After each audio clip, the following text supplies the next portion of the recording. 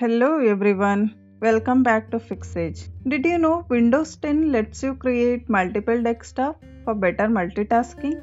In this tutorial, I will show you how to enable, manage and switch between virtual desktop in Windows 10. This is a hidden productivity feature that helps you to stay organized. So without further delay, let's begin. Open the task view. Press Windows and Tab key on your desktop.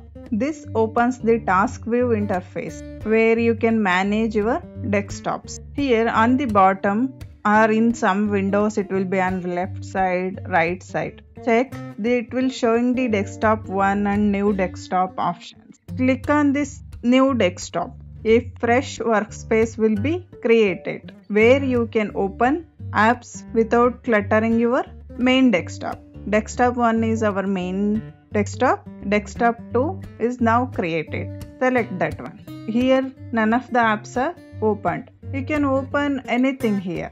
I'll open chrome and with some tabs this is how you can create and start working with different desktops. How to switch between these desktops? Press and hold control windows key and if you want to switch between the desktop press left arrow and right arrow. See if we click on the left arrow it will come to the desktop 1. If you click on the right arrow it will come to the desktop 2. According to the your uh, workflow you can switch between the desktop. Sometimes you want to drag the some apps from one desktop to another desktop. In that case click on Windows tab key button it will show both the desktops here desktop 1 and desktop 2 if you want this excel sheet to move to the desktop 2 just drag and drop to the desktop 2 see it will now in desktop 2 before it was in desktop 1 like this you can organize your work or entertainment apps in different desktops. And if you want to close the these virtual desktop just control tab and here is the close button is there no?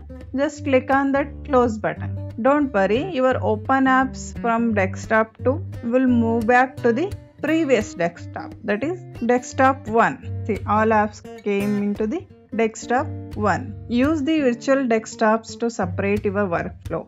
One desktop for work, one for browsing, one for entertainment. With shortcut, you will switch between them in second And that's how you enabled and used your virtual desktops in Windows 10.